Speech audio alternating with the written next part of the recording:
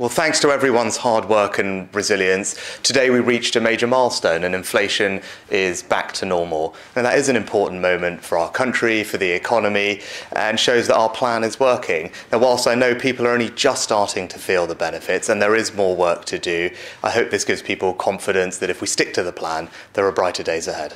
Can you claim any credit for it, or is it all down to the Bank of England?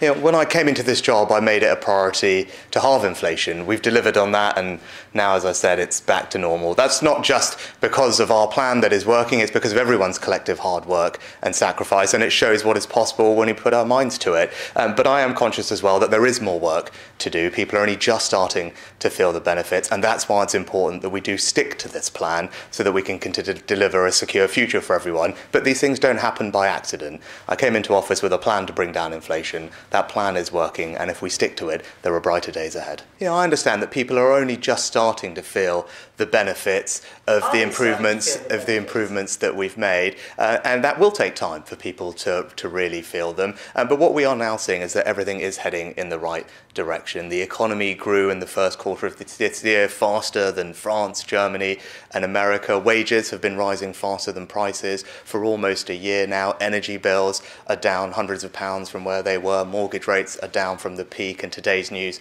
on inflation being back to normal is very welcome. So if you put all of that together, that shows that we've got momentum. It shows that the plan is working. But of course, there's more work to do for people to really feel the benefits of all these things. That's why it's important that we stick to the plan. As I said, these things don't happen by accident. I came into office with a plan. That plan is working. And if we stick to it, I can give everyone the peace of mind that there's a secure future ahead for them and their families.